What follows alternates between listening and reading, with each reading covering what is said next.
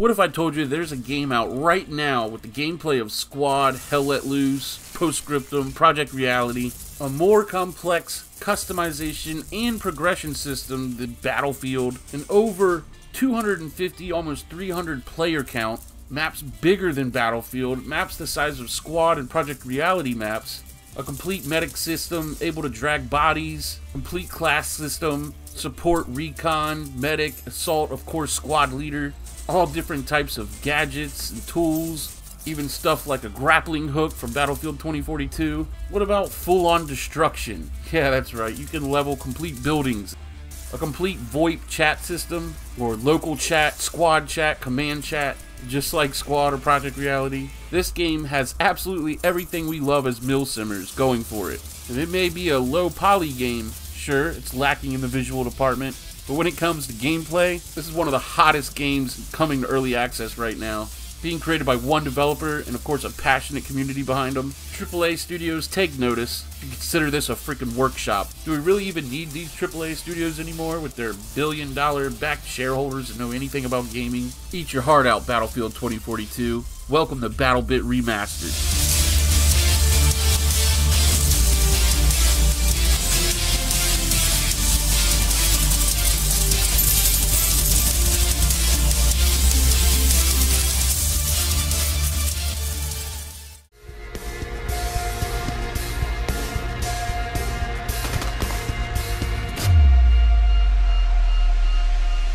What's up, everybody, and welcome back to the Milsim Tac Shooter and Historic Gaming channel, where we give away a Steam key to one of our lucky viewers at the end of the week every week. If you're not already subscribed, make sure you hit that button right now.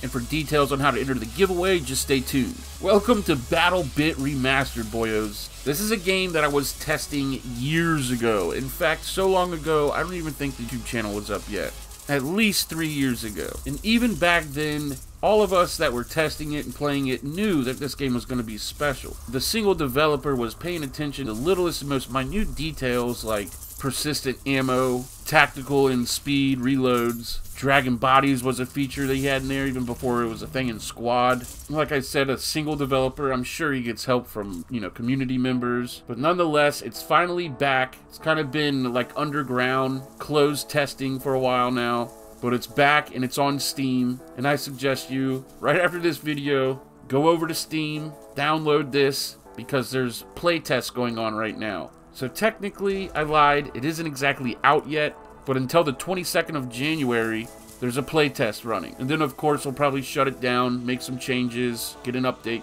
and tests will ensue from there. But boy, oh boy, man, I've spent maybe an hour or two in the game so far, and I'm absolutely blown away.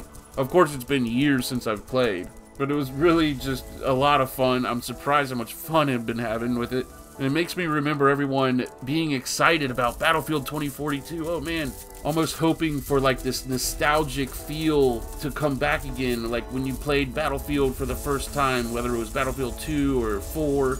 There's a certain feeling that game gave you. Well, this game, believe it or not, gives you that feeling more than Battlefield 2042 does. Oh, wee little BattleBit is out here swinging for the ropes, guys. And there's like freaking 10 servers full. Like, I haven't seen any promotion or marketing for it, and somehow there's thousands of people playing it right now. Hats off to Mr. Oakley Dokley, I believe his name is, the single developer. Incredible job. But now that the man's got his due accolades, let's dive deeper into the game. Let's check out some of the mechanics, some of the features, and why exactly I feel like this could be the next big thing. This is going to be one of those games like many other games we love, where the mainstream calls it dead, yet there'll be a, you know, a thousand, a couple thousand people playing it and loving it. A cult following. But hey, like I said, for this milsim genre to grow, it needs to grow as a genre. Keep in mind, the better this game does, the better for Hell Let Loose, the better for Squad, the better for Project Reality. I think people really need to notice that and stop pitting these indie games against each other. Instead, let's work for each other. Alright, don't get me started on that tip. Back to BattleBit.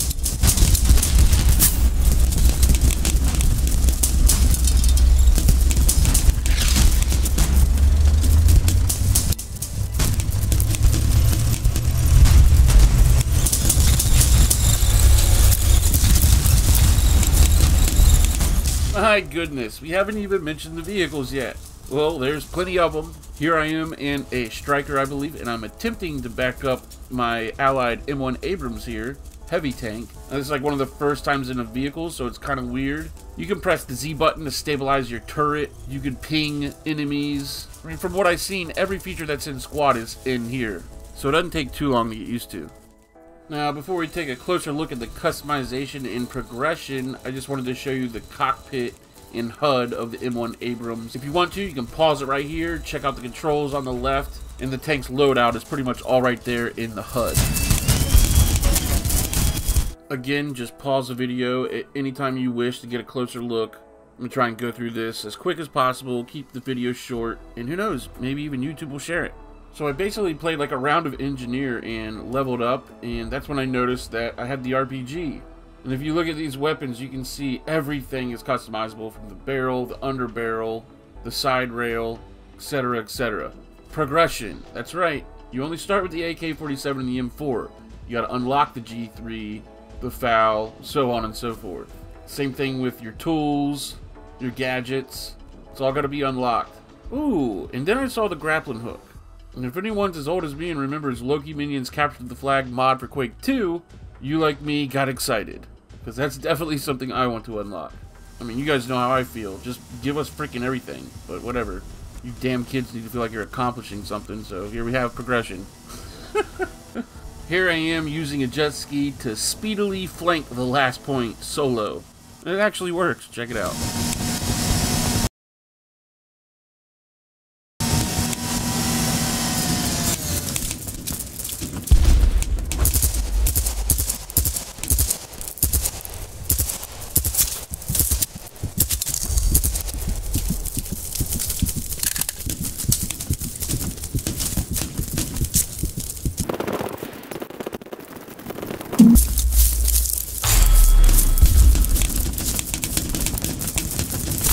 Cap the enemy's last point almost unattended, but right as we do, we lose the middle point, point B. So I jump on the back of my buddy's four-wheeler, which I can shoot off of, and ride towards B.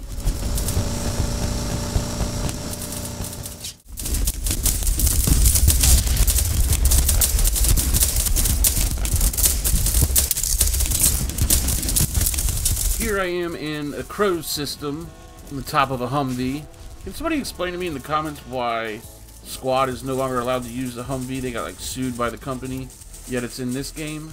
Is it because the game's free? Right? I don't know. Somebody refresh my memory. Alright guys, I don't want to keep this video too long. I just really want you guys to check out the game. BattleBit Remastered. Go to Steam, download it. We got till the 22nd to play. Come through to the Discord. Let's get a squad together. You all know me. I could ramble on for a freaking day probably about this game. But like I briefly touched on, this is the perfect game to bring people to the genre, man. It's free, it's loads of fun. Everybody loves the destruction part of it. And once these people get used to the systems, they can easily move on to games like Postscriptum, Hell Let Loose, Squad for a more immersive experience and make it easy transition. So many times gamers will buy those games and return them within two hours because they have no idea where they're getting shot from, much less do they know what the hell they're doing. Saying all that to say, support indie devs. Support this genre. Let's grow this genre as a whole. And it doesn't help when you pit games against each other like Hell Let Loose for Postscriptum. It's pointless. How about buy both, you cheapskate? You could literally get Squad, Postscriptum, and Hell Let Loose when on sale for cheaper than a recycled AAA game like Battlefield 2042. It's like putting lipstick on a pig year after year, and you're gonna buy it year after year. Ah, let me stop, I'm rambling. Shout out to my channel members. You guys inspire me. Consider joining the ranks of the MilSimp Minions. Get cool emojis. I'm going to start doing a lot more exclusive content for the channel members. Summer's coming. Spring's right around the corner.